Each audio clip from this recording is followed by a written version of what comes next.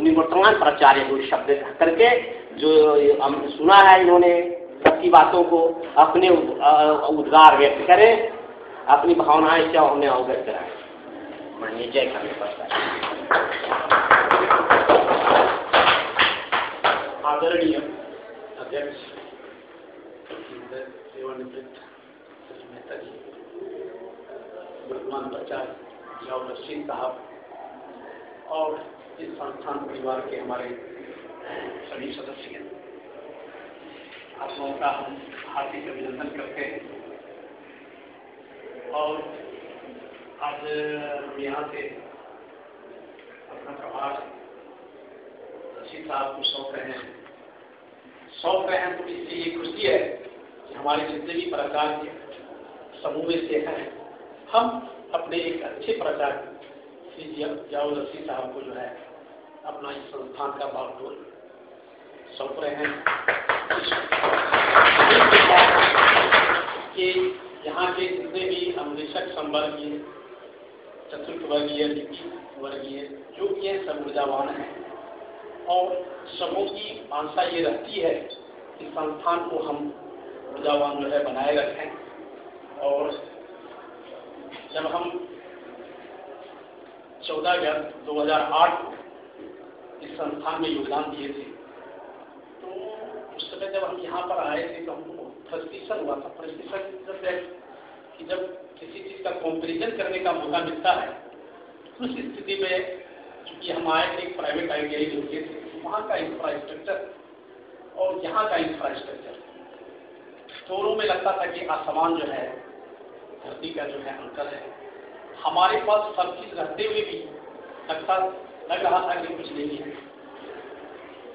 उसी बीच हमारे पास एक प्रपोजल आया कि त्रिपुटी के तहत इस संस्थान का जो है जीर्णोद्धार करना है और जीर्णोद्धार करने के लिए बीसी को और साइज़ को लेकर तो पैसा देना ये बहुत तेरी चीज़ है तो जस्ट हमको लगता है कि हम आए होंगे उसके दो दिन के बाद एक मीटिंग हम लोग रखे थे।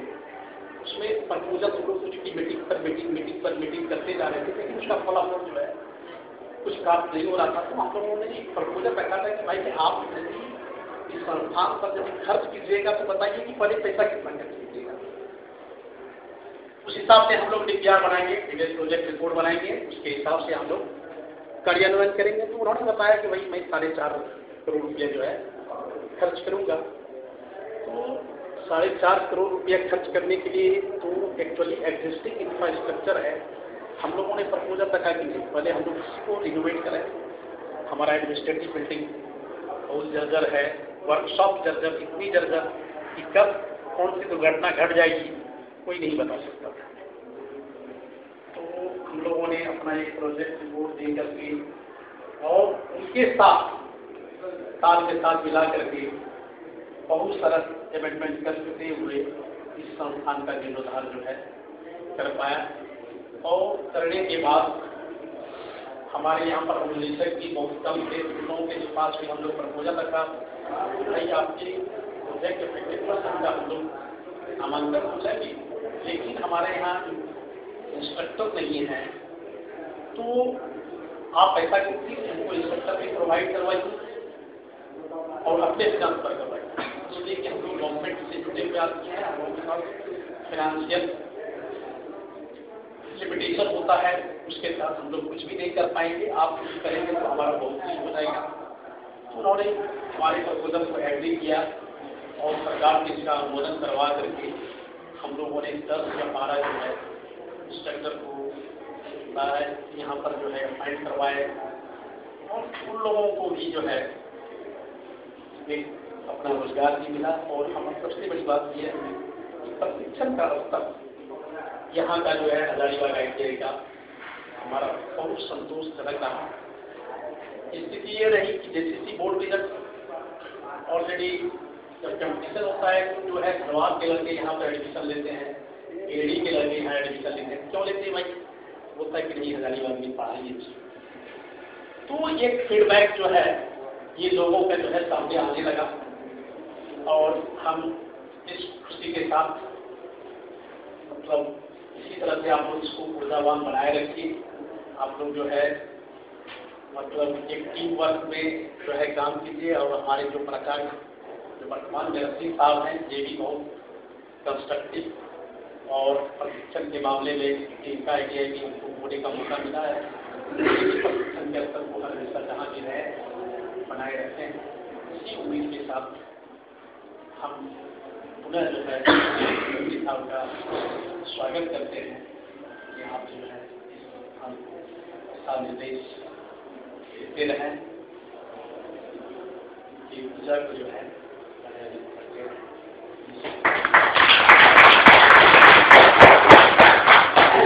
अब मैं माननीय याहुल नसीर साहब को आमंत्रित करता हूँ कि दो शब्द। समारोह के मुख्य अतिथि श्री जयकांत प्रसाद सिंह जी मेहता जी हमारे अनुदेशकगण एवं अन्य कर्मचारीगण। इस समारोह में आज हम ऐसे पदाधिकारी को विदाई देने जा रहे हैं, जिनका संबंध आप लोगों से बहुत लंबी अवधि से रहा है। और जैसा कि अभी बातचीत में पता भी चला है और सुनता भी रहा कि ये बहुत एक्टिव प्रिंसिपल्स में से रहे हैं और यहाँ के डेवलपमेंट के लिए काफ़ी अच्छा काम किया है। और प्रशिक्षण की गुणवत्ता को भी बढ़ाया है। जिसके कारण आज डिफरेंट प्लेसेस के लड़के आपके यहाँ नामांकन भी ले रहे हैं। हम चाहेंगे कि उस स्टैंडर्ड को हम आप सभी मिलकर बरकरार रखें।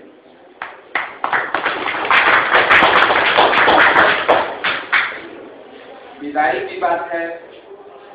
विडम्बना यह है कि सरकार की एक नीति होती है पॉलिसी होती है, नियम है, जिसके तहत स्थानांतरण होता है।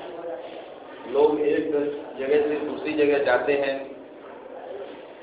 और ये करना पड़ता है, जिसके तहत आज मुझे भी यहाँ आना पड़ा और प्रभाव लेना पड़ा। हम चाहेंगे कि प्रशिक्षण या जो भी कार्य है, उस लेवल को हम मेंटेन करते रहें और इनके लिए हम कामना करते हैं, ऊपर वाले से दुआ करते हैं कि जहाँ भी जा रहे हैं ये स्वस्थ रहे। खुश रहे। जहाँ तक सवाल आपके वर्तमान प्रिंसिपल का है, आप सभी लोगों को मालूम है कि हमारी पोस्टिंग आईटीआई रांची वेलफेयर में है। ये अतिरिक्त प्रभार में मिला है। इसके अलावा एक और आईटीआई गिरिडीह का भी प्रभार लिया जाना है। जिसको हम लेंगे, कुछ कारणवश विलम्ब हुआ है। लेकिन हम प्रयास करेंगे, जो भी समय हमसे हो सकता है, वो हम डिवोट करेंगे। प्रशिक्षण में सबसे बड़ी बात यह है कि जिस पेड़ का फल हम लोग खाते हैं, उस पेड़ को इतना कम से कम सीखने का प्रबंध ज़रूर रखें कि वो पेड़ अलाइव भी रहे और हमें फल भी देता रहे। उसमें ऐसा हुआ है कि उस पेड़ को इस तरह हम लोग निचोड़ के और ये करके खा गए, कि वो पेड़ ही फल देने के लायक नहीं रहा।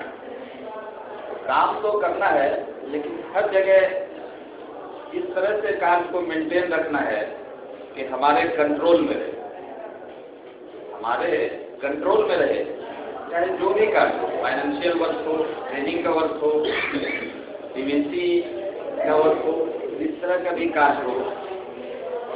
और जो अपने सबॉर्डिनेट है, उनसे हम हमेशा कहेंगे कि अपने पास जो भी डिफिकल्टी है, जो भी प्रॉब्लम है, वो फीडबैक हमारे प्रिंसिपल के पास ज़रूर जाना चाहिए। उसमें कोई संकोच नहीं होना चाहिए। बहुत से लोग ऐसे होते हैं कि जिनको कुछ कष्ट होता रहता है और इधर बोलते हैं, उधर बोलते हैं, लेकिन जहाँ मेन जगह है वहाँ जाके नहीं बोलते। इससे क्या होता है कि टेंशन क्रिएट होता रहता है। और लोगों में भी वो कहा सुनी इधर उधर बात फैलती रहती है। और उस बात को अगर आप मेन पदाधिकारी के पास जाके पहुँचा दें और हम इसमें कभी भी फील नहीं करते हैं कि हमारी कमी को या किसी कारण बस काम उल्टा हो रहा है, जो नहीं होना चाहिए वो हो रहा है। जो जिसको हम कर नहीं पा रहे हैं, उसको करना चाहिए। उसको अगर हाईलाइट करते हैं हमारे लिए अच्छी बात है। लेकिन जो भी संस्थान का हेड होता है इंस्टीट्यूट का जो भी प्रिंसिपल है, जो भी है तो वो तो एक जगह बैठा होता है, वो हर जगह और हर की बात को सुन नहीं सकता है, देख नहीं सकता है। लड़कों में ही बहुत सी बात पैदा होती है। तो आप लोग अपने स्तर से जहाँ तक हो सके उसको सॉल्व करें। नहीं होता है, फिर हमारे पास आए। अपने कलिक से उसको संपर्क करके सॉल्व करने का प्रयास करें।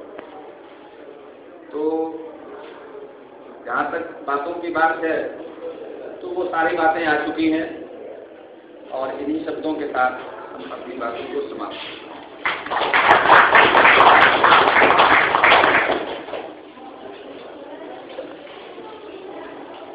धन्यवाद ज्ञापित करता हूँ